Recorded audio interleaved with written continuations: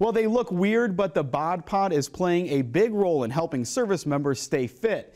The device measures body fat and can be found at health and wellness centers on base. Senior Airman Cody Griffith has more.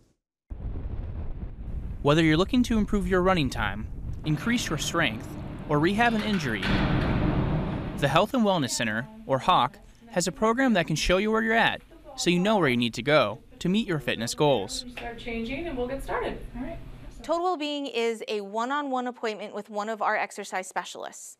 Um, with that, you can get a bod pod, which is a body fat measurement in the bod pod. Sit in there, get a body fat measurement, um, and then our exercise specialist will design a workout program based on what your goals are, regardless of what that goal may be. Again, it may be weight management, it could be run faster, jump higher, lift heavier, any number of things that you can come up with.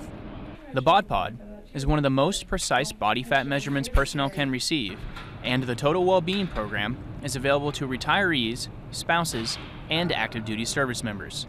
Senior Airman Cody Griffith, Nellis Air Force Base, Nevada.